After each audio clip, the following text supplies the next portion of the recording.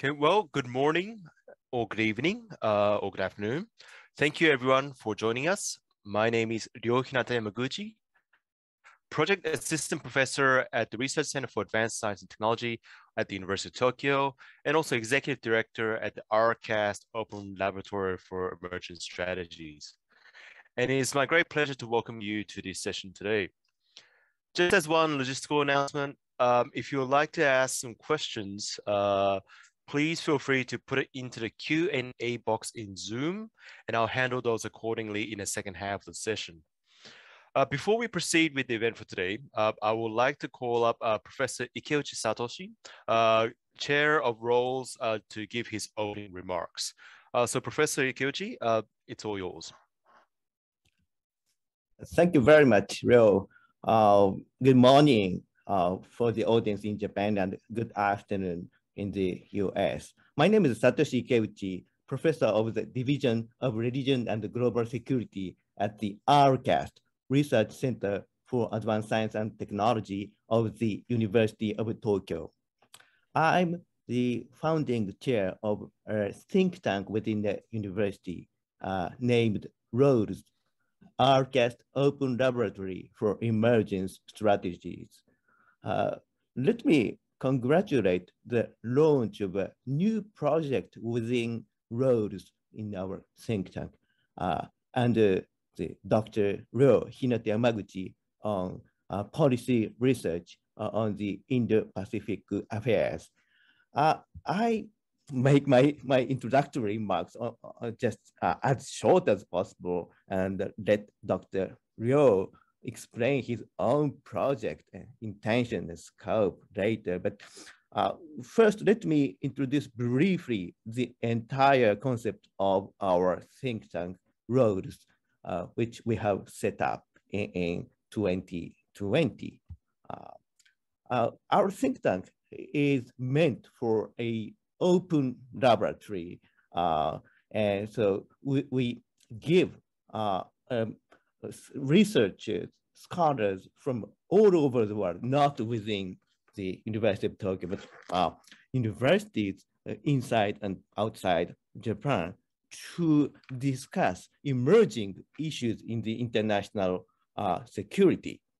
Um, we have been already conducting uh, vigorous research activities in, mainly in five study groups uh, tackling with China and revisionist powers, US and the shaken global order, uh, Middle East and Islam, and emerging uh, topics of security studies. And now Dr. Ryo is launching our research, uh, a policy research project, uh, mainly uh, working on Indo-Pacific affairs. So uh, the, the new, so I, I, in this occasion, I, I'd like to thank Dr. Zack Cooper uh, for his appearance at the podium. Um, uh, so uh, introductions and uh, further introduction to our new project is up to Dr. Ryo. So, um, uh, so you get, you have your microphone again. Thank you very much for all of you for your attendance in this uh, uh, special uh, lecture and discussion. Thank you very much.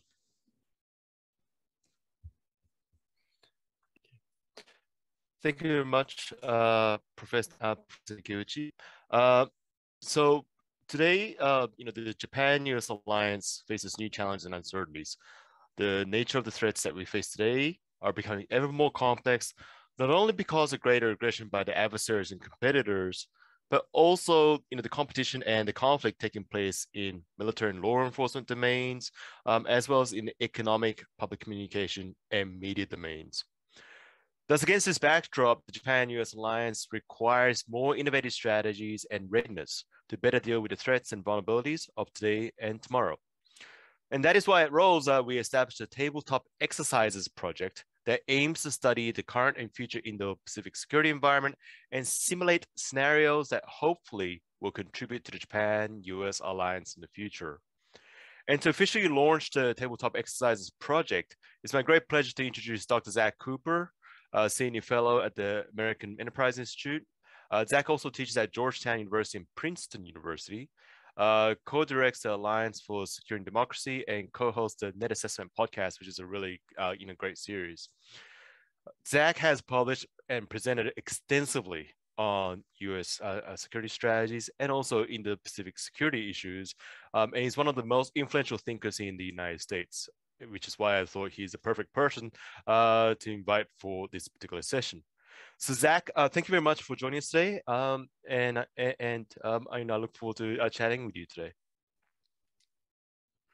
Well, thank you, Ryo. It's wonderful to get a chance to be here, and uh, you're an old friend, and I'm so happy to to get an opportunity to talk with you and the rest of the audience uh, this morning in Japan, and, and obviously tonight here in Washington. Um, I thought I would open by just making a couple of brief remarks about where I think the US Japan alliance is and maybe where it's going, um, which is to say that the United States has said that Asia is the pacing region, the most important region for the United States. And if that's true in many ways, Japan is the pacing ally. It's the most important ally for the United States in the most important region. And so when we think about Japan and the US Japan alliance, I think it should be with that in mind. But the question is whether the US Japan alliance is prepared today to meet the challenges that we have in front of us. And I think there's a lot of work to do. Uh, and, and here, let me just point to two items where um, I, I, think we have uh, some, some real thinking to do on the architecture of the alliance. So if you think about other major US alliances around the world. Uh, and here I'm thinking in, primarily about the NATO alliance, uh, about the US South Korea alliance, and the US Australia alliance. In each of those alliances, the United States and its allies have either combined operations or combined capability development. So in the NATO alliance, we have both. We have combined operations. We have one commander that handles all operations for all NATO forces, whether they're American or Canadian, British, French, German, Latvian, they all fall under one commander. Uh, and we also have something called Allied Command Transformation, which focuses on building up the kinds of capabilities that we need on the defense side over the long term. So we have both operational cooperation and technology development cooperation within NATO. In Asia, it's a little bit different. With South Korea, the United States has a combined forces command, as Ryo knows well. Um, and this is a combined command with South Korea and with some other UN forces through UN command. It does not, with Korea, however, have a combined capability development uh, architecture. So it's basically missing half of what we have with NATO. Uh, the same is true with Australia. The United States does not have combined operational uh, command with Australia, but we do have now an increasingly combined capability development project, which we're calling AUKUS, the US Australia United Kingdom cooperation. So what's interesting here is you would imagine that the United States and Japan, as the perhaps the two closest allies, certainly the most important ally for the United States in the most important region, would have at least one, maybe both of those attributes. And we have neither. We don't have combined operational coordination. Um, we don't have combined capability development. And so I think this points to the reality that yes, the US Japan alliance is in very good shape and the Biden administration should get a lot of credit for this. I think the Trump administration and the Suga administration uh, cooperated fairly well, as they did with the, with the Abe administration. But we have a lot of work to do to actually get the alliance prepared for the challenges we're going to face over the next couple of decades. And the fact that we say this is our most important ally in the most important region, but we don't have operational cooperation in terms of combined operations, nor do we have combined capability development, I think should be a reminder that we still have a long way to go to build the architecture that the alliance needs. So Ryo, hand it back to you and looking forward to the discussion tonight. Thank you. Yeah, and certainly like we met, I think we first met back in 2012 now. Uh, in fact, here in Tokyo, uh, and it was in a workshop that specifically talked about again United States and the alliances uh, in the Indo-Pacific. And you know, when we look back then, and when we look at the situation now, it seems that you know the flashpoints that we often talk about haven't really changed. You know, whether it be the East South China Seas, Korean Peninsula, Taiwan Straits, um, and even on the Eurasian continent, you know, the Russia-Ukraine crisis is a lot worse. But we had some bad feelings about what's going to go on there. Um, you know, uh, uh, on the Eurasian continent, and so. But the thing is, like you know, although we've been looking at the same flashpoints, it's not business as usual. Uh, because we see the exacerbation or acceleration of the conflicts uh, in those flashpoints uh, because of the new measures that states are taking. Um, not just reconfigured strategies, but also new emerging technologies, uh, more aggressive employment of hybrid warfare that has definitely evolved with social media and so forth. Um, and so we see you know more going on in the same flash flashpoints that we've been dealing with for you know decades now um, you know, China, they're not just modernizing their force at a much faster rate, but they're more aggressive, obviously, as we see. North Korea, they continue to diversify their readiness, um, and their military modernization seems to have picked up some pace. Um, US, and also if we look at the US and its allies, they're doing more, which is good, but it's still, nonetheless, we have to admit that it's changing the texture of regional security um, in the Indo-Pacific to some extent, uh, to it, depending on how we look at it. So when we look at those things, like, you know, we've you and I, we've always talked about this. We see all these dots out there, but as you and I know, it's more important to connect those dots. So I was wondering what your take is on some of the key trends um, and developments in the region, if you were to connect those dots that we have. Yeah, it's a, it's a great question. So when I think about the U.S.-Japan alliance and where we've focused over the last 15 years, I think actually it's been a real shift from one uh, flashpoint to another. So from 2010 through maybe 2014, the US-Japan alliance was really focused on the East China Sea. We had the crises around the Senkakus in 2010 and 2012. Then in 2014, President Obama made, I think, a very wise comment to be quite explicit about the fact that the Senkaku Islands fall within Article 5 of the Mutual Defense, uh, sorry, the US Japan Security Treaty, and therefore fell under uh, US security commitments to Japan.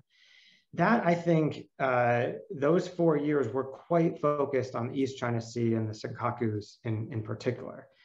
Then we had a period where actually the attention shifted south to the South China Sea right? So uh, beginning really in 2013, spanning up through 2015 and 2016, China was building up the seven features in the Spratly Islands that it now has made into large bases. Um, I was part of the team at the Center for Strategic and International Studies that watched this very closely. And, you know, it was quite notable to see how fast China moved in the South China Sea and we, as allies, paid a lot of attention to what was going on there. Of course, after that period, we had the period of fire and fury, right, uh, with North Korea, where Donald Trump turned up the temperature on North Korea and then turned it back down pretty quickly. Um, but you know, a couple of years during the Trump administration where it certainly seemed that there was a possibility of conflict on the Korean Peninsula. And I think that brings us to today, where the focus has once again shifted from the East China Sea to the South China Sea to North Korea and now to Taiwan. And my expectation is that the US Japan alliance is going to remain focused on Taiwan for the foreseeable future. And there are a couple reasons for this. First, geography. The reality, as you all know well in Tokyo, is that Taiwan is just remarkably close to Japan's southwestern islands. And whether you're living in Ishigaki or Yonaguni, Miyako, or Okinawa, it's hard to ignore that reality. And so the more pressure that Taiwan comes under, the more I think the alliance will feel a need to respond and to respond really with capabilities in the Southwestern Islands. So geography is the first part. Uh, second, I do expect more political pressure from China on Taiwan as the years go by. And I don't think that I'm not one that is worried about a China Taiwan conflict this year. I think that's very unlikely with the party Congress coming up later this year in Beijing. But I am worried about what happens in future years, especially heading into an election in 2024 in Taiwan that could be quite tense and full of uh, threats across the strait from Beijing to Taipei to try and shape that election. So I think there's all of the um, attributes of a real crisis brewing, potentially leading into 2024. And finally, I think uh, there's a leadership element here too, which is that Xi Jinping has made clear that he's going to make uh, gaining control over Taiwan a top priority for the rest of his administration. And it might not be the very top priority, but it's certainly high on the list. And so I think this is something that's going to draw a huge amount of attention for American leaders going forward. You see this from the American Congress, which has talked more about Taiwan in the last year or two than I can ever remember. Um, you see this in the Biden administration, which is increasingly worried about Taiwan scenarios. So at the end of the day, I think we've got a geography that leads us to be concerned about possible cross-strait conflict. We've got political factors, especially over the next few years. And then we've got leadership, which, you know, in some ways is the most important as we're seeing right now with Vladimir Putin. Um, and so I, I think for all of those reasons, I expect that as much as we've spent the last 15 or 20 years focused on the East China Sea and South China Sea and North Korea, I think the next 15 years are really going to be quite focused on Taiwan. And our job is to make sure that the alliance is prepared for those types of contingencies. Yeah, great point. Um, and you know, you uh, uh, the M line, right, regarding that uh, the contingency uh, uh, in, in the Taiwan Straits. And you know, I've heard you talk about this a lot in podcasts uh, and various other uh, webinars and, and so forth. Um, and I also agree with you that you know we don't have to worry about like an invasion of Taiwan, let's say, you know, this year. Um, and I, I'd say like personally, I'd say that they probably wouldn't dare to do that at least for quite some time. 2030 is probably the period I'm really going to you know worry about some kind of military invasion. Uh, as said, to in 2024, I see China turning up the temperature and uh, putting on more pressure. But when it comes to actual military invasion, um, you know, this is something that's fairly delicate for the Chinese side as well because they need to get that right. Um, you know, in terms of military readiness and also you know other various areas of capacity that we uh, that we'll think about. But the thing is, again, this sort of goes back to the early uh, early point that you raised as well. Yeah, we've shifted attention to, to Taiwan. I definitely agree that this is the most important agenda for the U.S.-Japan alliance, at least for now, um, and for the foreseeable future. But at the same time, I'm going to challenge you here a little bit. This is something that you know we've been seeing for a long time, and we can't just say you know, oh, because China's getting more aggressive, you know, we're paying more attention to this. And that's probably something that, you know, we can uh, uh, think about there as well. Now, before, you know, we really go into that point, um, I guess we should just shift our attention a little bit and talk more about the, you know, now, now that we've sort of got the ideas about the situation in the Pacific, and we will come back to that point about Taiwan in a second. But now that we've got some ideas about the situation in the Pacific, uh, let's process this a bit and think about again the threats to and the vulnerabilities um, of the Japan-U.S. alliance. So let's start with the threats to alliance, and again, this is where we can come back to that uh, Taiwan point. You know, again, the question I always have, and I've been wondering about this ever since we first met um, in, that workshop back in 2012 um, um, on JMF. You know, what has taken so long for the Japan-U.S. alliance to recognize that China is a real competitor here, or even I'll say the threat. Know, sometimes I feel you know this is like longer with you, even back in 2012. And now in 2021, 2022, we're really taking Taiwan a lot more seriously when we should have taken it more seriously 10 years ago, 20 years ago, 30 years ago almost. Because we always known that the CCP has eyes on Taiwan. So I was wondering if I can, uh, if we can talk about that a little bit, and then also, of course, other threats to the alliance, and then we'll move on to vulnerabilities. But let's talk about the threats to the alliance. Yeah, it's it's a fascinating question. You know, why has it taken so long for the United States and Japan to wake up to the challenge that we face from China? And I, I don't think this is an easy question to answer. It's something I've thought a lot about. I think there are really two factors. One is uh, related to China, and the other is related to the US and Japan um, and, and other third parties that we cooperate with. So, the China factor, in my view, it wasn't completely clear in 2010 or even maybe 2012 when Xi Jinping took over what kind of leadership team we were going to see from China um, over the last decade. Um, I think very few people would have expected in 2012 that Xi Jinping would be made, you know, either general secretary for a third term or chairman of the party uh, this year, which is what we expect to happen. So uh, one of the changes has just been a change within China. I think this is a different set of leaders of the Communist Party than most people would have expected to see. They're incredibly confident. They're quite convinced that the United States and I think Japan as well are in terminal decline, that the American system in particular is failing, that American democracy is failing, the American economy is weak, and that China is rising and will continue to rise. And I think that degree of confidence is just not something that was easily uh, imagined maybe a decade ago, certainly not two decades ago. Um, so, you know, one factor is just that I think China has changed.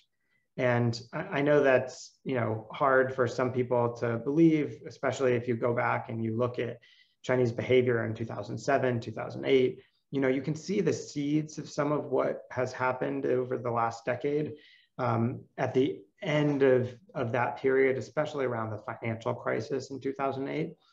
But I, I don't think it was really until maybe 2015 that we started seeing just how assertive the new Chinese leadership was going to be. And you know, the, the idea that you would see China pressing ahead on issue after issue, Hong Kong, Xinjiang, Sino-Indian border, uh, Japan through much, much of the uh, 2010s, you know, pushing on the South China Sea through much of that period as well and ratcheting up the pressure, not just on the United States and on Australia, but on Lithuania, right? On Taiwan, all at the same time. This is just not what most experts expected. Um, so I think the first thing is that China has changed. And maybe we should have seen that change coming, but we didn't. Um, you know, there were some of us that expected some of this to happen, but I think it's happened faster even than those of us who were fairly pessimistic would have expected.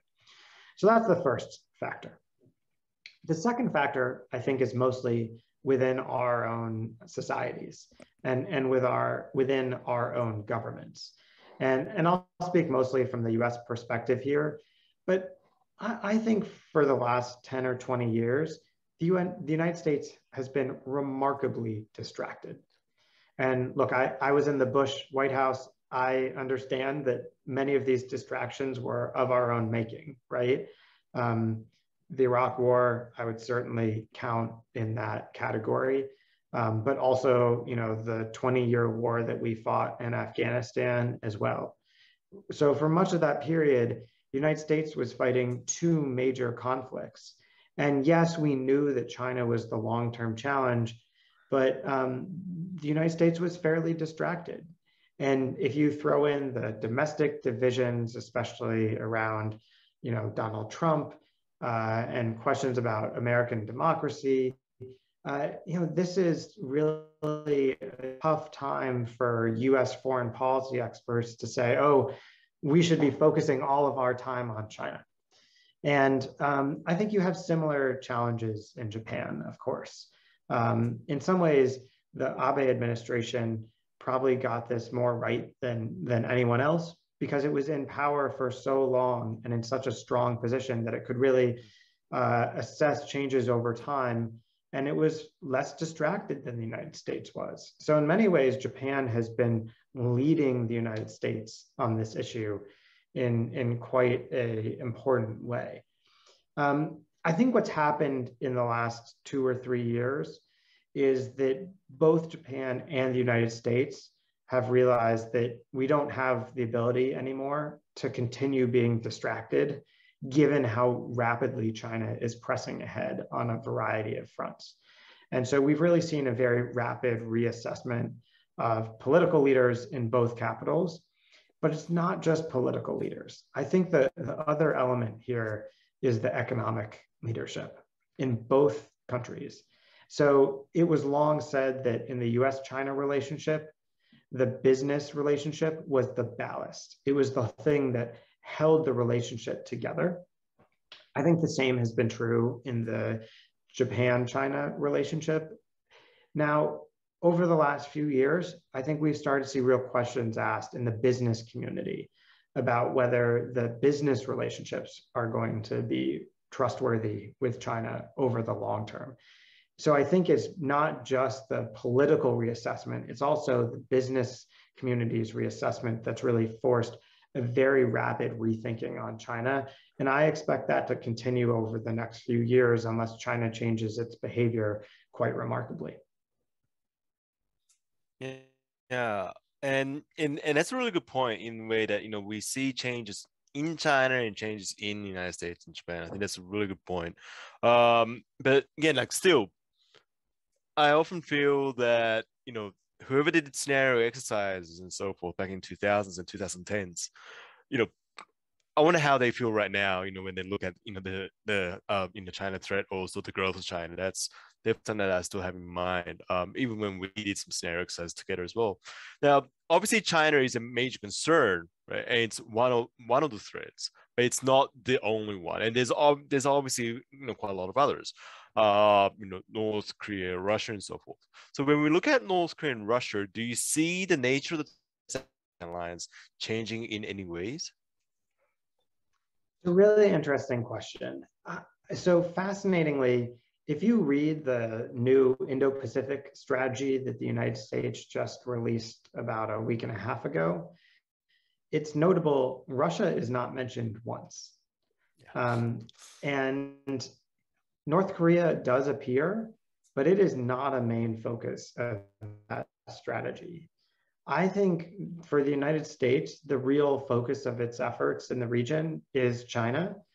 And um, leaders in Washington see the challenges from Moscow and Pyongyang in Asia as very secondary. And as a result, they think that these are also secondary issues for the US Japan alliance which is not to say that we shouldn't be cooperating closely uh, on North Korea, for example, uh, or cooperating closely on Russia. I think we're, we're making progress in both regards, but that that's not really the way to measure success in the US-Japan alliance. So yes, I think many Americans would be quite happy to hear that Japan is going to go along with sanctions on Russia I think many Americans are happy to hear that we're seeing more cooperation on North Korea, whether it's dealing with the nuclear threat or the missile threat, um, or trilateral cooperation with North, sorry, with Japan and the United States and South Korea. So those things are important. But my personal view is that those are not the critical elements of the US Japan alliance anymore. They're important, but they're side efforts. The main effort is really going to be Japan, uh, Japan US cooperation on China.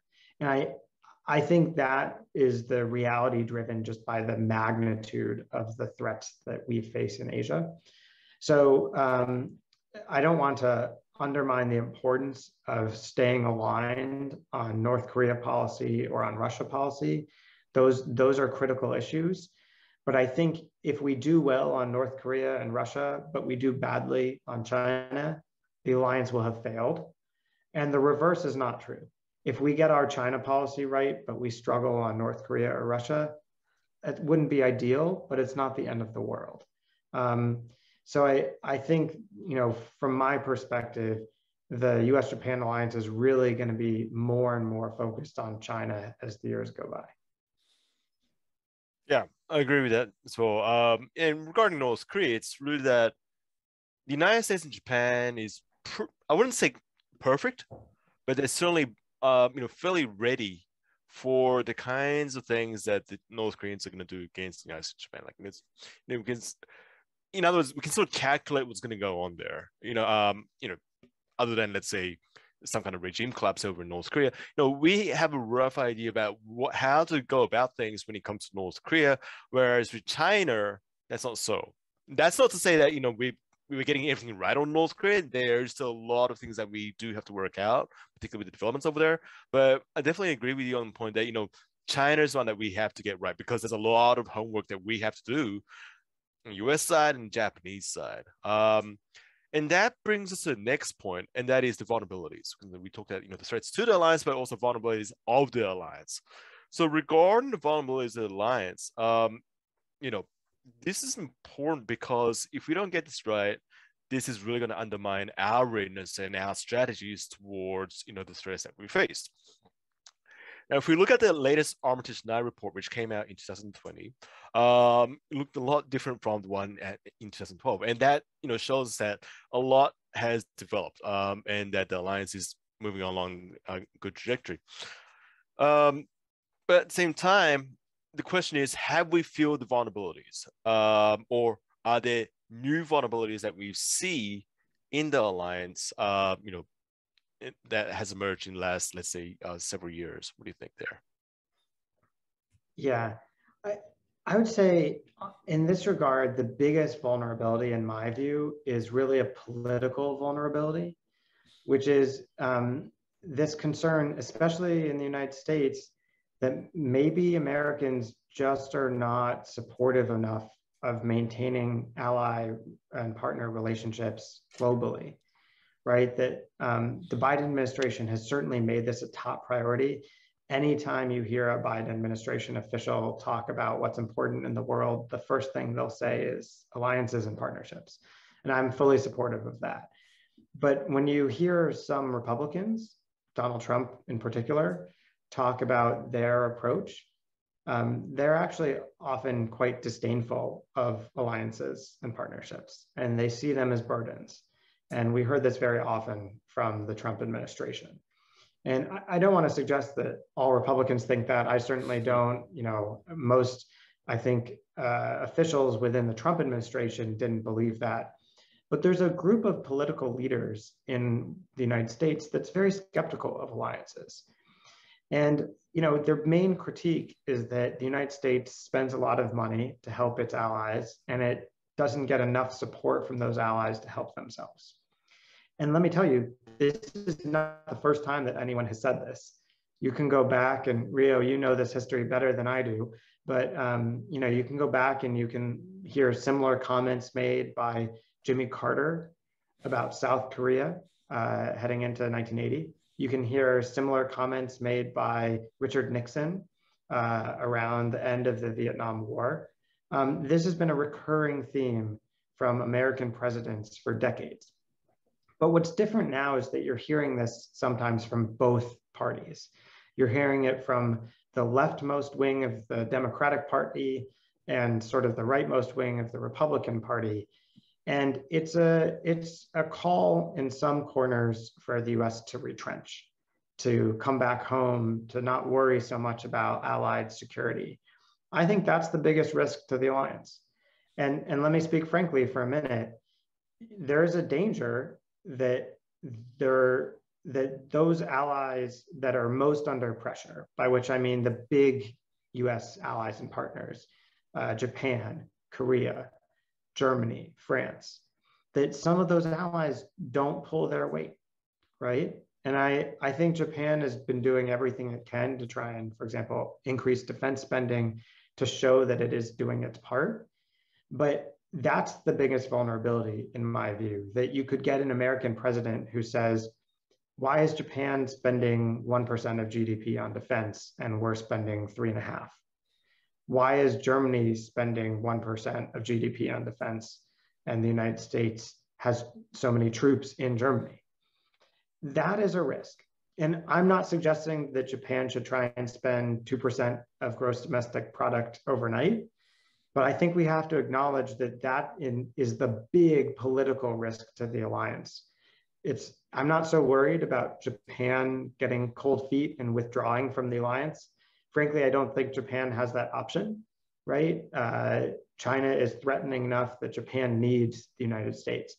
But I do worry about what could happen in 2024 if you get Donald Trump reelected or someone that holds his views. And I think Japan did a great job of managing Donald Trump last time around. But part of the way to manage that um, questioning of the US Japan alliance is for Japan to do everything it can to show that it's pulling its weight. And I, I think the Kishida administration has been pushing in this direction. So, so I'm hopeful that we're closing this area of vulnerability. But to me, that's that's the biggest concern uh, and it's a political one. It's mostly in the United States, but there is uh, work that Japan can do to manage that challenge. Yeah, and we'll we'll, we'll move on to uh, perceptions and expectations, uh, or differences in expectations and perceptions between the U.S. and Japan alliance later on, because that is a really important topic. And yes, we will talk about the budget. That is that's also. A, you know that's something that I see on Twitter and various op-eds all the time. But there are a lot of things that we need to discuss there. Um, now, again, when we look at some of the vulnerabilities um, or you know some of the issues in alliance, you talked about the politics, and that's definitely true. And that's probably you know at the pivot of a lot of things.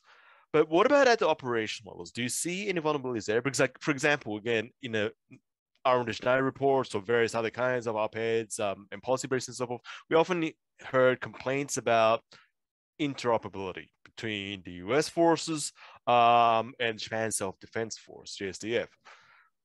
Do you think that gap has been filled, um, or do you still see some gaps in interoperability or others of these operational areas? I, I think there's a lot of work that we need to do on the operational side. Um, and, and here's what I worry most about. Um, if you imagine a major contingency erupting over Taiwan or even the East China Sea, the question is, how would that US Japan response be carried out today? And I, I don't think it's 100% clear. And there's fault in both countries, in my view. And we've talked about this in the couple of most recent Armitage Nye reports. So in Japan, there's no operational command in the same way that um, the United States has combatant commands. And, and that's sort of natural because you know Japan isn't operating all over the world the way the United States is. It's mainly focused in the areas surrounding Japan. But the problem is that you have the chief of staff of the Joint Self-Defense Forces operating sort of as a commander of those forces and the political liaison to the Japanese political leadership all at the same time. And I think that's too much work to do at the same time that that commander would have to be dealing with commanders in Hawaii at Indo-Pacific Command, with political leaders in Washington. That is a huge task. And it's a particularly difficult task if you imagine this occurring under a high stress environment and so one thing we learned, in my view, during Operation Tomodachi was that we needed operational commanders that really had authority in a major crisis. And I think Japan has a lot of work to do to realign its operational command arrangements to be prepared for, for example, a Taiwan Strait crisis. But in many ways, the United States has the exact same problem. So yes, we have a combatant commander in Hawaii who's technically in charge of the whole region, but we don't have an operational commander uh, below that level who would be in charge of all of the US services. So for example, we have a uh, four-star general in charge of the Air Force in the Asia Pacific region. We have a four-star general in charge of the US Army in the Pacific. We have a four-star admiral in charge of the Navy in the Pacific. Um, we have a four, uh, three-star uh, Marine Corps general who's in charge of the Marines in the Pacific. All of those are more senior than the two-star who would be leading operations for Indo-Pacific Command from Hawaii. And to make matters even more complicated, if you imagine a major contingency with China, I think you have to imagine that communications would likely be cut between many of these locations. It might be hard for Tokyo and Washington to talk. It might be hard for Washington and Hawaii, the Indo-Pacific Command to talk, or even from the, for the Indo-Pacific Command to give orders to US forces in the Western Pacific, right? Whether that's Marines in Okinawa, Navy forces sailing or in Yokosuka, um, Air forces operating out of various parts of Japan. So this would be a really difficult challenge operationally. And I don't think the United States is prepared for how to command and control its forces in this kind of crisis. I don't think Japan is prepared either. And I definitely don't think we're ready to do this in a combined way. And this is where I'd come back to something I said at the start, which is I'm not suggesting that we need a combined US Japan command. That may be too politically difficult, maybe too legally difficult, given the peculiarities of the Japanese constitution and limitations on Japan's self defense capabilities. But at the end of the day, if you think about a major contingency with China, you know, China is going to have very clear operational command. Xi Jinping will be in charge. He is in charge of the Central Military Commission that will be running the campaign. Um, we need to be very clear in our own minds about how we would run this campaign ourselves. And so that means clarifying operational responsibilities in Japan, clarifying operational responsibilities in the United States, clarifying how we would work together, and actually planning around those kinds of operations ahead of time. So I think that's a huge task for the Alliance over the next five to 10 years. And I know it's something that people at MOD are working on, that people at the Pentagon are working on. But I would just say, I think it probably deserves a little bit more attention than it's gotten, at least from the United States thus far. Yeah, and that's a really good point on that so command structure here in Japan. Uh, you know, the the person at the top whether it be at the joint level or in the ground, maritime, and air, that top person is really like a commander and a manager at the same time. And I've talked about this in op-eds and so forth. There's a difference between an operational commander and an operational manager. Um, and that I think definitely needs to get, you know, we need to, Japan needs to get right. Um, and it's really time for Japan to better structure uh, that. So you know, you know, create some kind of joint force, joint force command or some sort, you know, whether it be one large one or one that is divided into regions. That's definitely one important thing. And I'm glad, you know, you clarified your point about so that combined, no, I mean, you, you said not combined force command of some sort, but, you know, getting some kind of connection and coordination and structuring that between the United States and Japan. Now, I, um, I definitely don't see that combined forces command coming along anytime soon. And the reason for that is not just the political and legal ones, but also because of the mess that we see over in South Korea. Uh, you know, regarding OPCON transfer, and that's the reason why I still think, you know, uh, I don't think we should go down that path, and I don't think we need to go down that path. That doesn't guarantee better, you know, operations that's combined between the United States and Japan. So that's definitely a really good point that you know uh, that we just touched on. Now, okay, so we promised to get to this point uh, question, and that is, what are the gaps in perceptions and expectations between the United States and Japan? This is probably, you know, the other big vulnerability, uh, if there is any. Um, because if there are gaps in perceptions and expectations, these things will obstruct the formulation and execution of solid alliance strategies, readiness, uh, and, and readiness. And when we talk about the gaps in perceptions and expectations, uh, we can look at the, this on uh, you know various levels. Um, you know, one is like U.S. and Japan's perceptions and visions towards the Indo-Pacific security environment, um, and two, regarding the management of the alliance itself. Um, and so, you know, when we talk about alliance strategies, now, um, you know, we've talked about this before. Uh, we've heard each other talk about this before, and so forth. You know, we can cut this in various ways. Um, I remember in in podcasts that you did uh, quite some time ago, but I think it was a really good point. You talked about how um, you talked about you know what the priorities are, and you said like, and, and I remember you uh, you were debating about you know does the United States need to aim for primacy, and I think that um, you know opens up a lot of new questions here, because when we look at the U.S. Japan alliance strategy, obviously we want supremacy against our adversaries and competitors, but the question here is supremacy for what? Uh, are we looking for some kind of primacy in the region? Is that what the supremacy is for?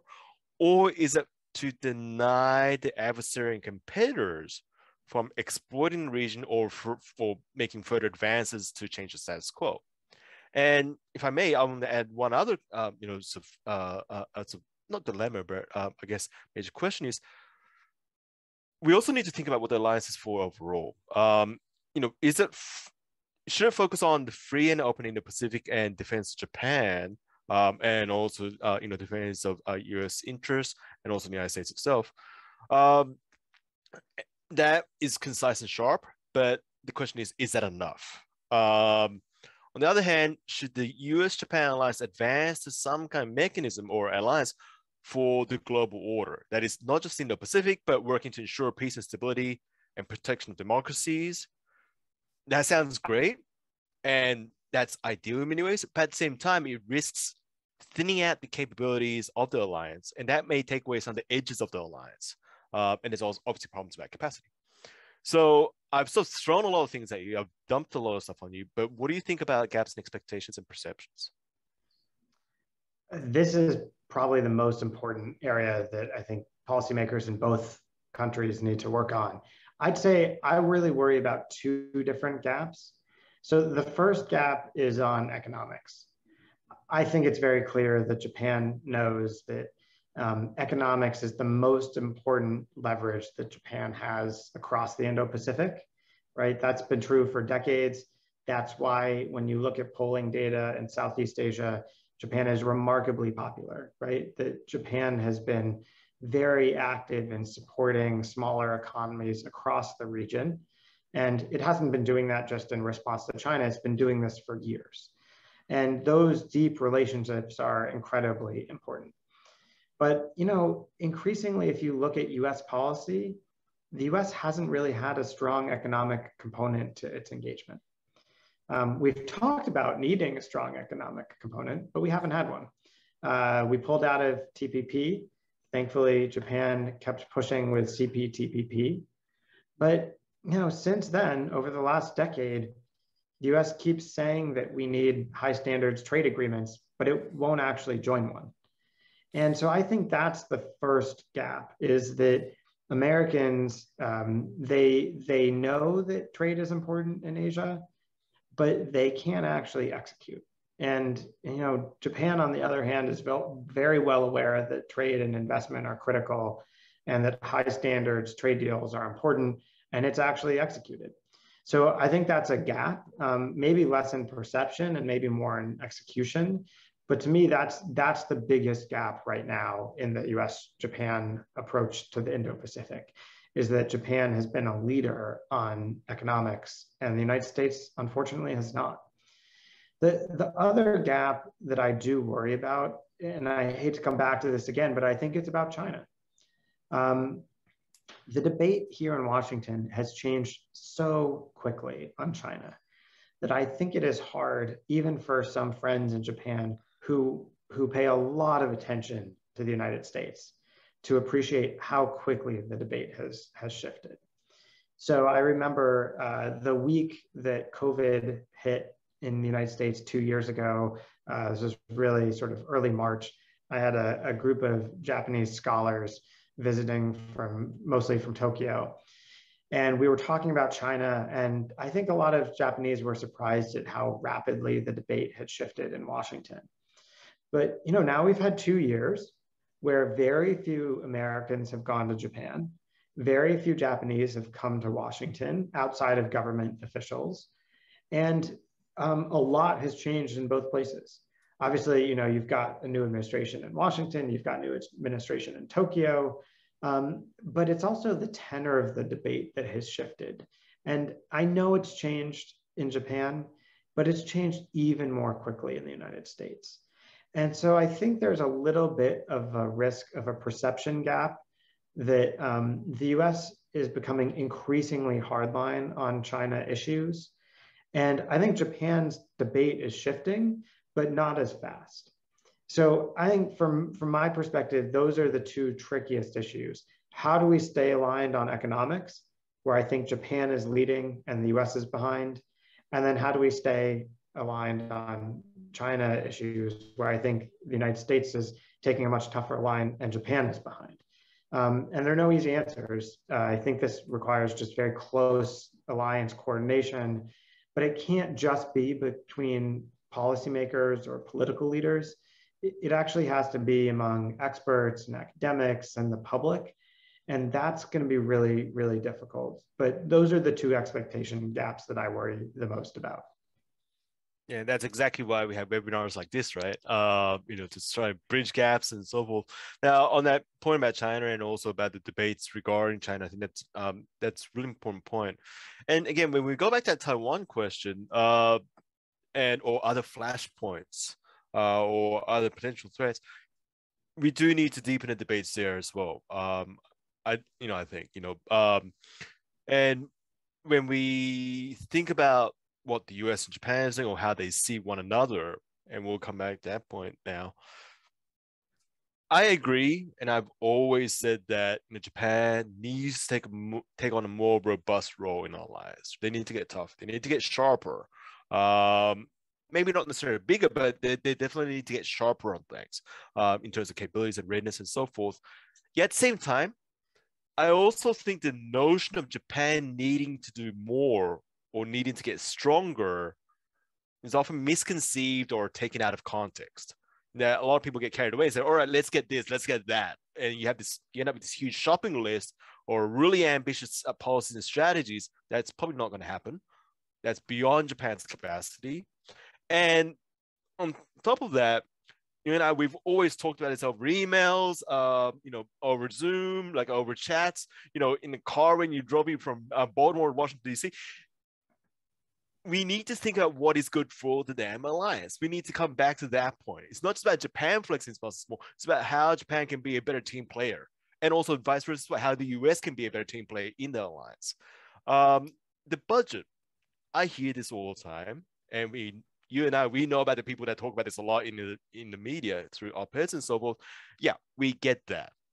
However, how that budget is spent matters a hell of a lot more. If Japan increases defense budget to 2.0% or 3.0%, whatever, that's not going to mean much if Japan's going to waste its money on capabilities that doesn't need or capabilities that don't help the, uh, the Japanese defense um, or the or the US alliance. So if you were to make requests to Japan, what would they be? Um, you know, what are what are things that what are the things that you'll say? Hey, look, no, I didn't mean that. Is, is there anything like that that you um that that comes in your mind? Yeah, th- there absolutely is, and you know we've talked about this a lot. But I I think just to start with, there is a strategy problem here, which is why we're having this discussion in the first place. And, and in my view, you know, a lot of this comes back to the United States. The United States is about to roll out a national defense strategy. And obviously in Tokyo, you're working through a national defense program guidelines, a midterm defense plan, and your own new national security strategy. Ideally, we would be linked up 100% on those efforts. Japan would know exactly what was in the national defense strategy, and it wouldn't just know what's in the strategy it would be part of that strategy, right? It would be shaping the debates in Washington about where the United States is going to invest money. And we would be shaping the debates in Tokyo about where Japan is spending money. That doesn't really happen. It should, but it doesn't. And so I think, unfortunately, what's going to happen later this year is that we'll see the US come out with a national defense strategy. It will talk a lot about how the United States needs to do much more, especially in East Asia. Um, and, and, you know, putting more troops into the Philippines or more forces or systems into the Philippines is unrealistic. We're not going to put it into Taiwan. Guam is pretty far away. Korea is probably not very realistic. So really when the US talks about putting more capabilities into the region, it's either talking about naval platforms or it's talking about rotating them through Japan. So you would think that this would be a debate with Japan about what kinds of capabilities we as allies want to develop and that we'd be moving out on those. And that's just not happening. That's not the way the US works, unfortunately. And I think it provides incentives for Japan to also go its own way, right? Especially for the business community. If Japan's defense contractors aren't going to get some of the US defense business, why would they work with major US defense companies on Japan's defense equipment needs? And so what you end up getting is, you know, in some cases, decisions that in my view are very inefficient. So both the United States and Japan have talked about needing a longer range anti-ship cruise missile. That would be an ideal capability for us to co-develop, right? We both need the same systems because they're both going to be operating in basically the same places. Um, in fact, many of the operational uses for these kinds of systems would probably be in Japan. So why aren't we co-developing that together? In fact, Japan has a lot of expertise on this. Japan has the S, uh, has the surface-to-ship missile batteries, the Type 88, the Type 12. These are good systems. The US is trying just to build its first examples of similar systems. We should be cooperating in that area. That's very obvious. Um, and you know, two examples of areas where I, I think we're not cooperating enough, and I worry that Japan might go down a very expensive avenue. One is the follow on to Aegis Ashore. And, you know, I'm not suggesting that Aegis Ashore was the perfect answer, but I, I think Japan could go down some very expensive pathways, like buying new Aegis systems that are seaborne that are going to be very expensive and do basically the same thing that a cheaper Aegis Ashore system was going to do. And, you know, this is a touchy one, I appreciate, but the FX program, the new fighter program that Japan is developing, um, I'm very nervous that this is going to be a very expensive platform, that there won't be sufficient cooperation between the US and Japan on this platform, and that rather than using this as an area for US Japan cooperation and maybe even co development, that Japan's going to put a lot of money into a largely domestically produced system that will be probably very expensive because it won't be bought in large numbers and might not be that much more advanced than existing systems, especially the F-35 or, or the F-22. And so I worry a lot that um, I don't want to blame Tokyo for this because much of the fault is in Washington because Washington has to actually integrate Japan into our thinking when we develop our defense strategy and we when we develop defense capabilities. And, and we don't do that right now. Um, but that's part of why I think the architecture of the alliance has to change. We actually have to build the infrastructure to allow us to do co-development programs. And today that just isn't really possible. You know, final point, Ryo, is the last major co-development program between the US and Japan was SM3 Block 2A. And you know, that's been a very productive program, but it's pretty shocking that that's the only thing we can point to right now. That's a major co-development program on the defense side. I think that's a concerning sign about the degree of interoperability in our forces um, going forward, but also the degree of um, cooperation on force development, really about what we're going to buy and how we're going to build it. So there's a lot of work to be done there. Definitely. Um, and moving on to a slightly different point before we talk about the more prescriptive stuff.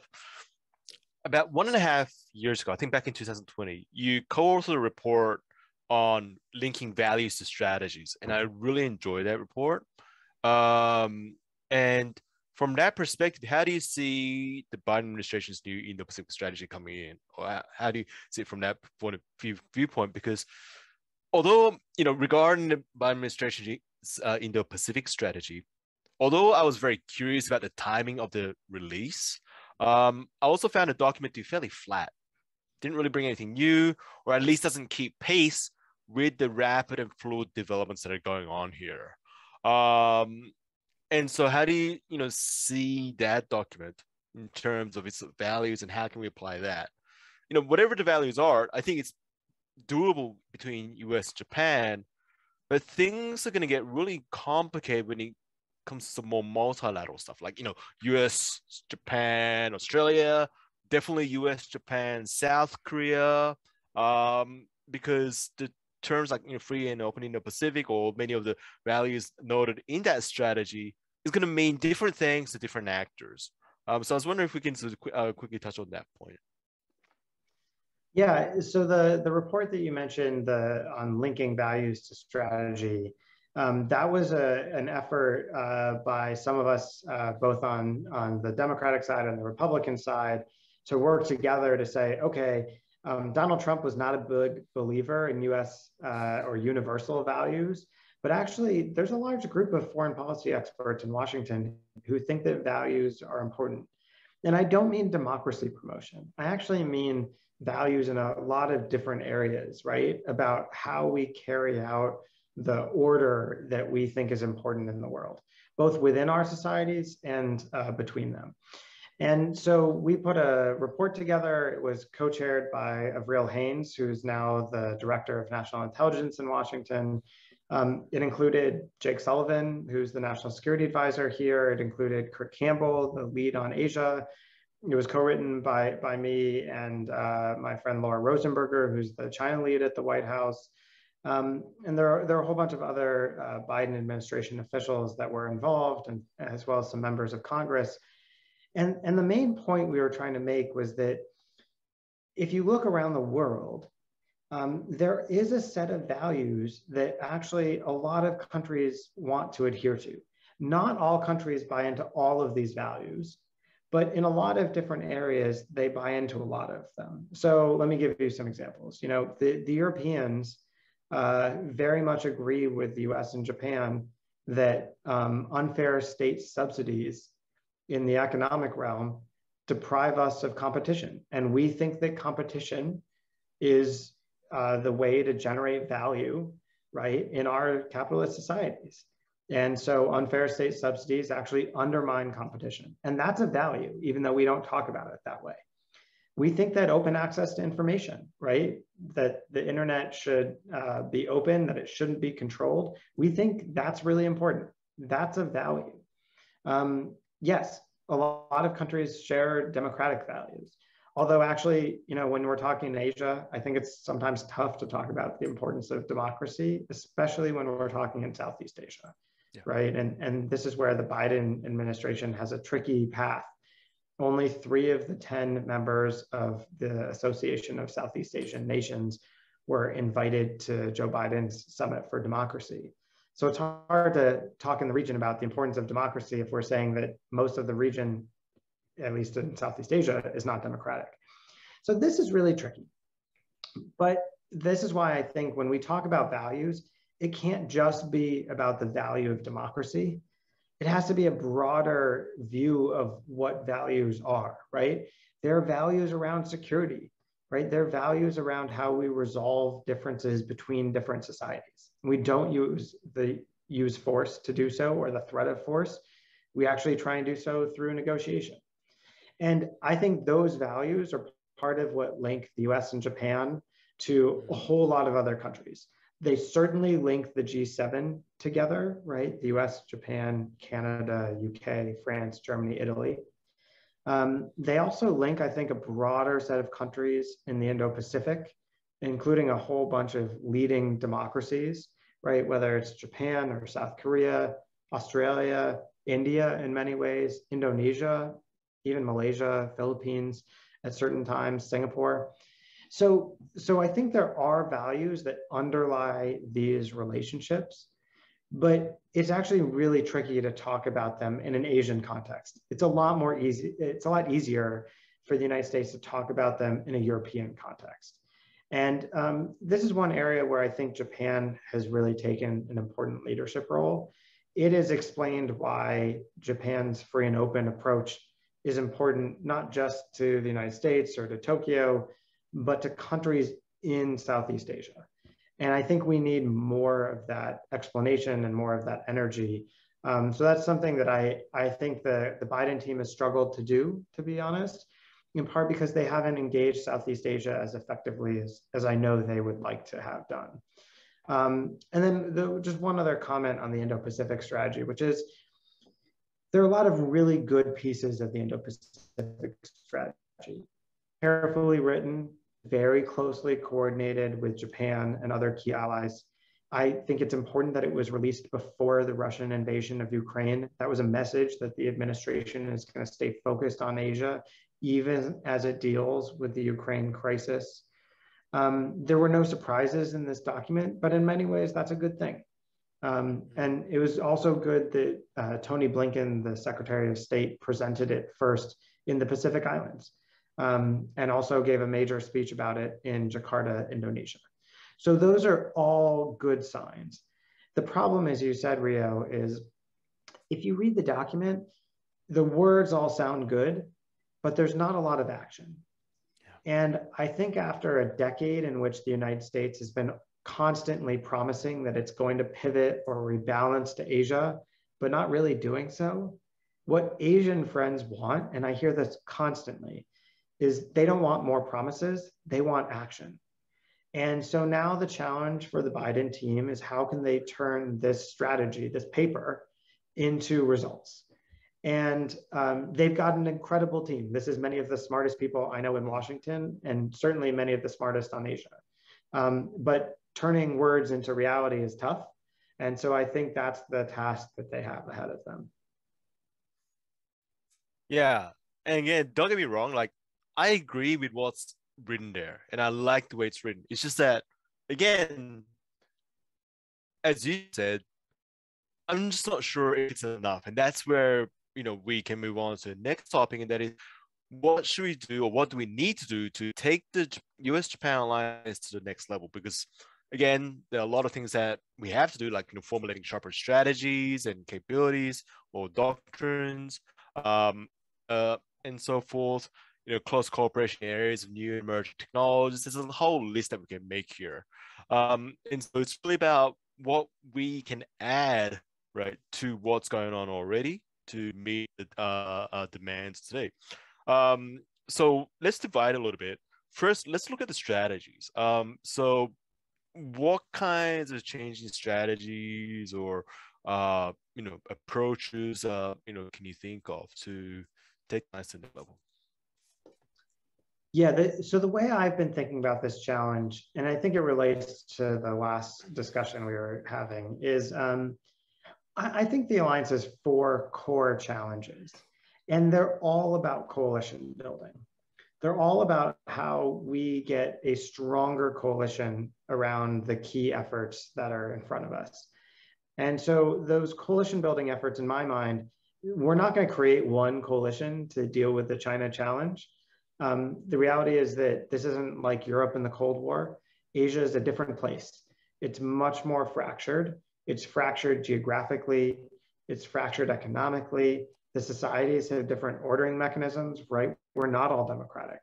Um, so what we have to do is build different coalitions for different issue sets. And I think there are four critical ones. The first is what I would call security or geostrategy. The second is economics. The third is technology. And the fourth I would call a governance coalition. And I think the most important thing to recognize for Tokyo and Washington is that the US Japan alliance is at the core of all four of those coalitions. You know, if you think about the security coalition, that's built around US relationships, around US alliances in the region. And the most important US alliance on security issues is the US Japan alliance. So it's the core of the security alliance. And in fact, I would say that's why we've seen the Quad, which is really, in my view, about security issues, built around the US and Japan, right? We're adding India, we're adding Australia. Um, but the US Japan alliance lies at the core. So, what about economics? Well, you know, this again is an obvious one. Other than China, the United States and Japan are the top two uh, economies in the world, not just in Asia. And so, if you're going to build an economic coalition, you have to build it around those two. And yes, you know, Europe is critical in this regard. But in many ways, the United States and Japan are the two leading players economically in building that coalition. And so, you know, whether it's the G7 or some other mechanism, I think we have to build out our agreement with other key countries on our economic strategy. And it has to start with the US Japan alliance at the core. The third area is technology. And again, who are the most important technology leaders in the world? Well, Japan and the United States are certainly near the top of the list. Um, you know, I think Korea, Germany, uh, Taiwan, you know, the United Kingdom, the Netherlands in some areas, Israel, these are all key players. But the US and Japan in area after area are leading. And so if you're going to build a technology coalition, what, you know, the key principles for that coalition, they're going to be built around what Tokyo and Washington think is important. And then finally, and maybe this is the toughest one for, for Japan, I think we have this global governance coalition. And the question is, how do we want the global order to be structured? And how do we actually make that reality? And here, I'd say this is where Japan made the most progress in the last decade. And the Abe administration really deserves a lot of credit for leadership, right? The free and open Indo Pacific was a concept not just about security or economics, it was also a concept about real governance issues, about how we wanted the rules of the road to be written and how we wanted them to be followed. And so I think, you know, on each of these issues, security, economics, technology, and governance, Japan is critical and the US Japan alliance is critical and maybe at the core of all of those. And so when I look forward in the alliance and think, what do we need to do now? We need to build each of those four coalitions and they're each going to look different, but at the center of them has to be a clear vision from Tokyo and, and Washington about where we're going and how to get there. And so I think that's the mission now for, for alliance leaders over the next 5, 10, 15 years.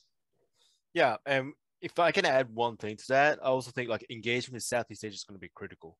Uh, but that also means that given the specific conditions of Southeast Asia, because you know the characteristics of the you know different countries, we do need to be more innovative though regarding how we approach and outreach to these Southeast Asian nations, you know, whether it be to form coalitions or, you know, some kind of, you know, quasi alliance or whatever.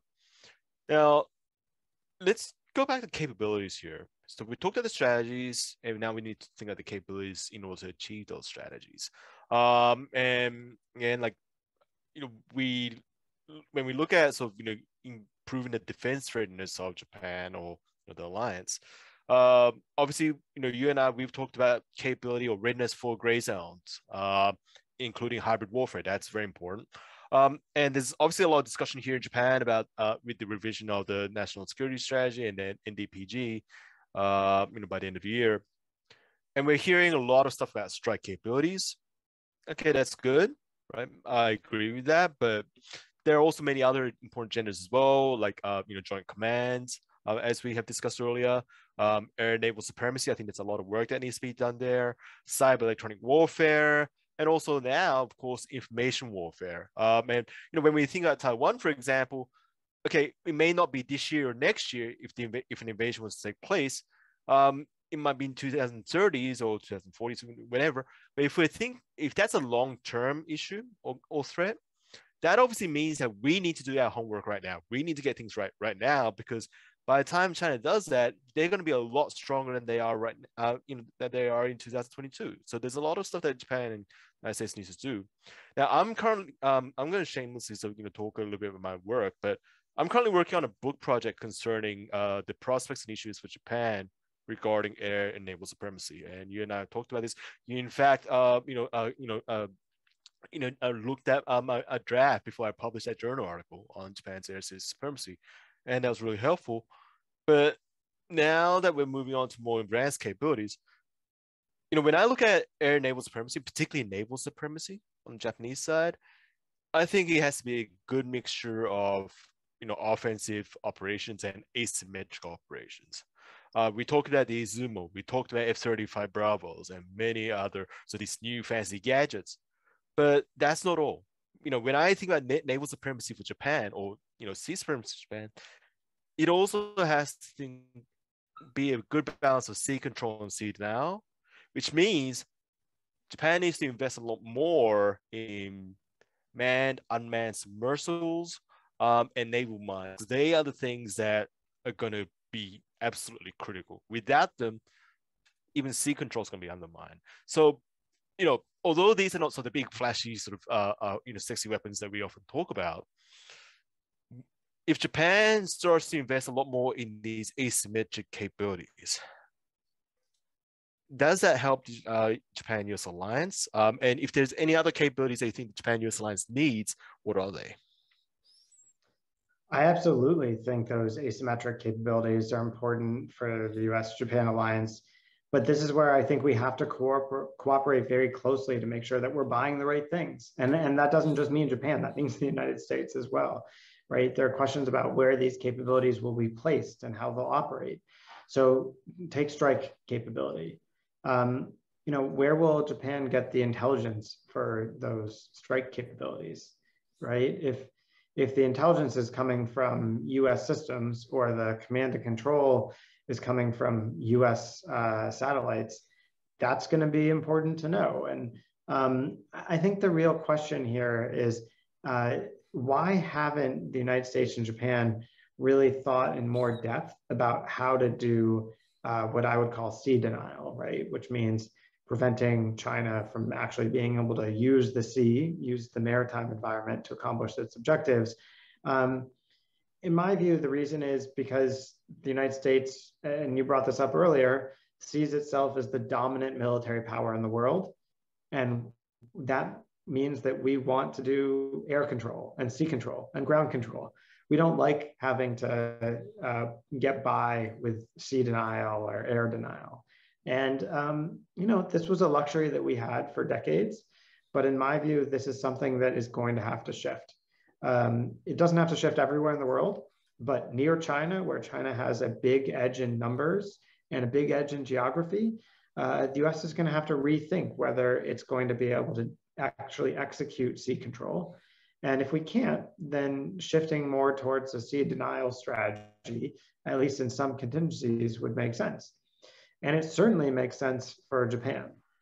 But this is the kind of really tough allied uh, cooperation that is difficult if we don't have the architecture in place to have very concrete discussions about what Japan is buying and what the US is buying and what our vision is for how to use these systems.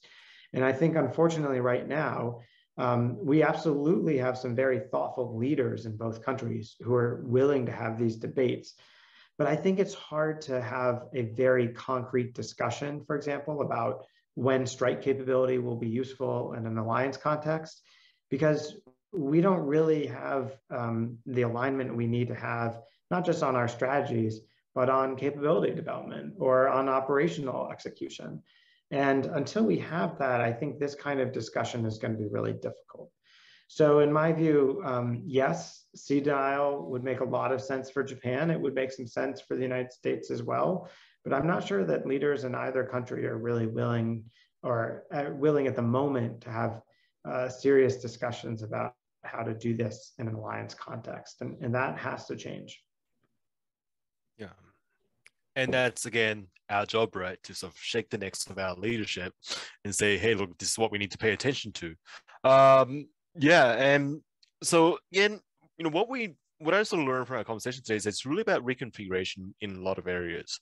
Um, and and when we uh, I'm now going to sort of move on to uh, some questions and comments that you know I'm I'm getting up getting on this Zoom thing here. There are some good questions here that I think you know we should turn to. Um, again, for anyone, uh, if you have any questions, please put them into the Q&A box on Zoom. Um, now, I'm going to look at this one, this one in particular that's really good. Um, how would Japan or the United States respond to a stronger China-Russia alliance? Now, one thing that we need to be careful of here, I'll be careful with it, using the word alliance because I don't think it's gone that far. I'm not sure, Zack, if you agree with me on that. It's more like a, I don't know, like dating between two people that see something that's really convenient. Uh, it's like a marriage. It's like a, uh, a relationship of convenience, which Paul Dibb has often talked about. So, what do you think there? You know, China Russia cooperation or partnership, um, and how would Japan and US respond to that? So we yeah, still need to go into lightning mode because of time constraints. Yep. yep. Right. Yeah. And I'll, so, I'll yeah, sorry, go ahead. Um, but yeah, I, it's such an interesting question. So my short view is that I I would have said even fairly recently that I thought Russia-China cooperation was a little overplayed, and that we didn't see that much actual real cooperation between the two. But I have to say, if you read the statement that they put out about 10 days ago, um, it's quite remarkable.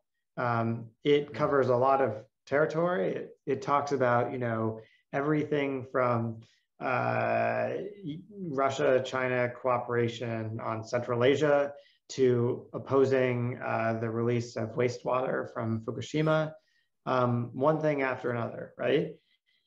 And I think it's a bit of a signal that um, Russia and China are feeling more and more pushed together, not just by the United States, but by others around the world. And you know, there's an obvious reason for this. If you look at the top economies around the world, there really are only two, and, and you know, I'm being generous here, calling Russia a top economy. It's, I think, number 11, but um, there really are only two that are autocratic. And so it makes sense in some ways for Russia and China to look for ways to cooperate because they've got no one else. And I think what we're seeing around Ukraine is that the Russians are desperate for China's support, and China is willing, surprisingly, to actually um, tacitly support Russia, you know, invading sovereign territory, despite the fact that China talks constantly about um, non-intervention and you know the affairs of sovereign states. Uh, and so um, we're seeing China being willing to bend its principles to align more closely with Moscow. And I think, you know, I'm not sure that Moscow has many principles at this point, but if they if they did, then I think Vladimir Putin would be perfectly happy to adjust them to align more closely with Xi. So, so my personal view is we're going to see very close alignment between Russia and China for years ahead. You know, I'm not saying that that couldn't change in the future, um, but I think it's good to remember that the the Sino-Soviet split, which you know the U.S. took advantage of in the 1970s, that started in the 1950s, and it took a good 15 years before it was mm-hmm. um, a deep enough split that we could take advantage um, of, of it. So you know, while Vladimir Putin is in charge of Russia, I just can't see that being a real reality. Um, and so I think it's going to require us to think carefully about how we work to challenge not just uh, China and Asia or Russia and Europe, but how to challenge the ideas that both of them have about how they want to rewrite the rules of the current order. Um, and I think that's something that Japan uh, can take a leading role in doing, but it's going to mean some um, even tougher discussions with the Russians than I think Tokyo has had in recent years. Yeah, um, and again, like I think there's a lot that we have to study here. I mean, I know that this whole China Russia thing is a one of the hottest topics in town in DC right now. Um, you know, I see all these webinars popping up in my inbox about that. But again, it's about how to get these things right. Um, you know, how to read China right, how to read Russia right, um, because there's going to be different answers, um, you know, based on how deep we look into these two countries, um, not just the partnership itself. Okay, so another question I'm getting here is what concrete contribution should could Japan make in the face of uh, contingency in the Taiwan Straits? Um, uh, we look at so logistical support or some kind, uh, or material monetary support. Um, and if so, if those are things that Japan does, is that enough from the US side? And I think this goes back to our debate about expectations, but well, let's you know keep simple here. What kinds of contributions do you do you think the US expects from Japan in the case of uh, contingency in the Taiwan Straits? Yeah, so so I've been discussing with this uh, this question with some some friends in Tokyo for a while, and I think it really falls into two categories.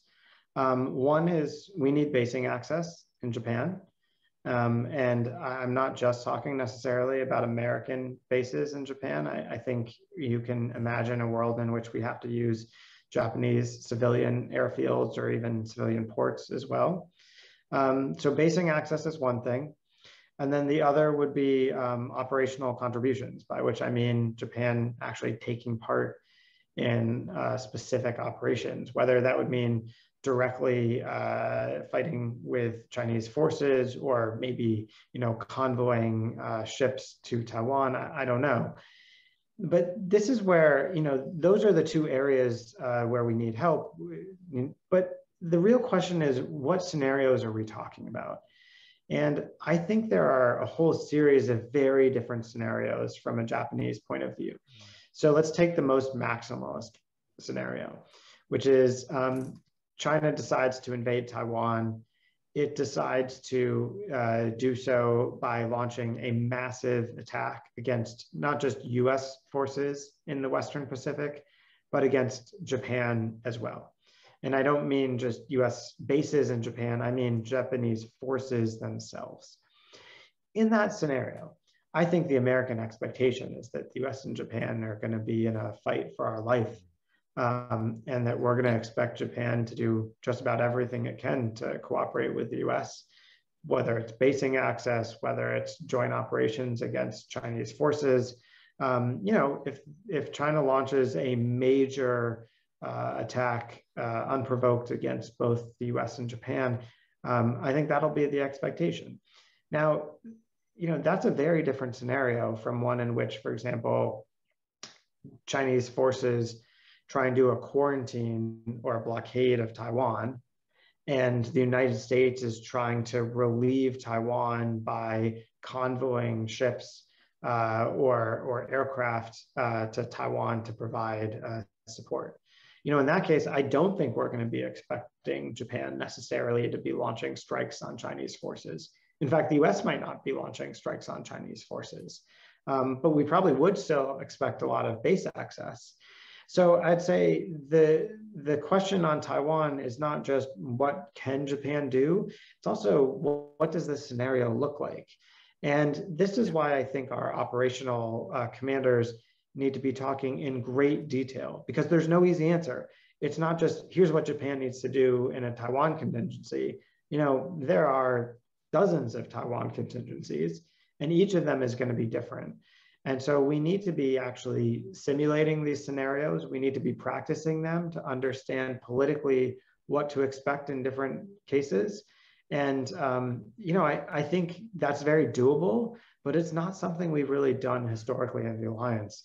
So um, it would take a lot of effort for political leaders to sit down and actually talk through some of these situations and what the expectations would be but I think we've got to do that now because the worst thing that could happen is to wake up in the middle of a crisis and find out that either Japan isn't doing what the US expected or the United States isn't doing what Japan expected.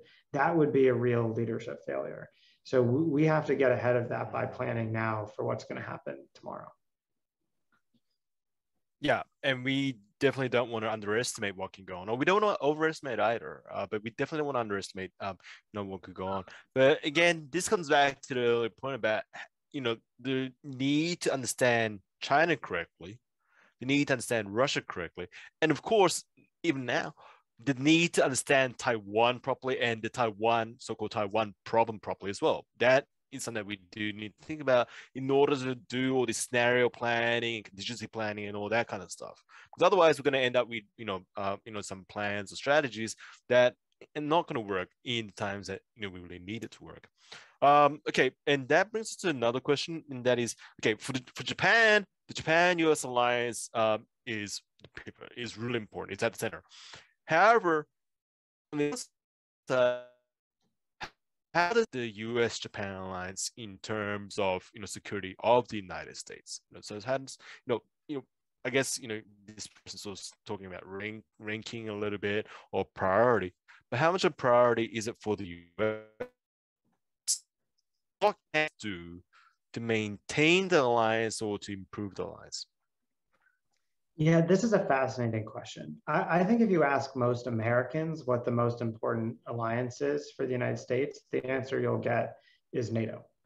Um, and uh, you know there are a lot of reasons for that. It's some of this is just the historical connection that Americans have to Europe.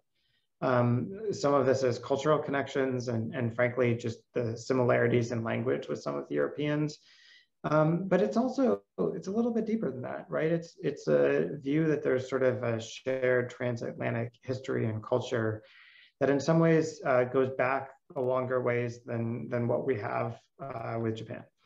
And um, so I think most Americans would say, look, if you're asking, you know, which allies are the most important, well, it's the Europeans, and it's always been the Europeans. Um, you know, I've made the argument here that I actually think Japan is the most important ally we have, and it's in the most important region. Um, so it's not to denigrate the importance of our allies in Europe, but is to say that you know the biggest challenge the United States has today is China, and the top ally we have to deal with it is Japan. Um, but I don't think that's the way most Americans look at this. And part of the challenge is that um, the easiest alliances seldom get the most attention. And don't get me wrong, the US Japan alliance has not always been easy. And, and friends in Tokyo know this better than friends back in, in Washington here. But you know, the last decade, the US Japan alliance has been about as easy as it gets, right? We had the Abe administration, which was very pro US in many ways. We've had consistency under Suga and now under Kishida. Um, there hasn't been a lot of consistency in terms of American leadership. And yet, the Trump administration, its best alliance relationship was definitely with Japan, right? The US NATO mm. relationship was terrible. US Korea was even worse. US Australia was even very uh, unsteady for a while. Um, and you know the relationships with the Philippines and Thailand, the other two treaty allies in Asia, were you know really on a bad downhill path.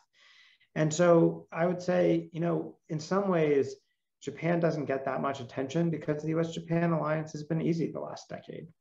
Um, and I think, unfortunately, that means that sometimes we don't pay enough attention to it in Washington. And we think that if we just allow the US Japan alliance to continue on its current path, then that's fine. But I'll, I'll tell you, that's not my view. You know, I, my view would be because the US Japan alliance is so important, and because we've been able to accomplish so much the last decade, that means that we actually have to be really ambitious about what we're trying to do the next decade. Um, and that's why in our last Armitage Nye report, we titled it More Important Than Ever. And I believe the subtitle was something along the lines of, you know, an ambitious agenda for the US-Japan alliance. And I think that's what we need. We need ambition. And I'll be candid here and say that I, I don't think we've seen an ambitious alliance for the agenda, the ambitious agenda alliance out of Washington under Biden, under Trump, or under Obama. Um, I think a lot of the leadership has come from Tokyo. And, and a final thought, which is this isn't entirely bad, right? Uh, you know, for years, I think people have been complaining that there has been too much leadership from Washington and not enough from Tokyo in the US Japan alliance. And so it's in some ways a positive that Japan is now leading and really thinking about the alliance so deeply. But that means the US has to catch up a little bit.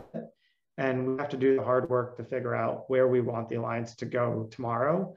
We can't just rest on our laurels. We can't just accept the alliance as it is today. Yeah.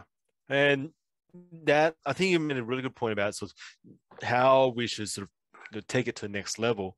Um, and this, I guess, you know, sometime, you know, when we get older and when we're, wiser, it's where we can write so like a Cooper Hinata Yamaguchi report, you know, on how to sort of take the alliance to the next level to deal with the various threats. Now I'm going to abuse my authority as moderator and discussant, uh, and I'm going to have one question of my own, and that is, all right, U.S. ROK, U.S. Japan ROK trilateral. We've talked we talk about this all the time. We heard all the time. We hear complaints about all the time, and you know, if I had a baby here, there's various ways I can describe the situation regarding U.S. Japan uh, Korea trilateral how can we make it work? Any ideas? Uh, because I think we need yeah. a lot of ideas here.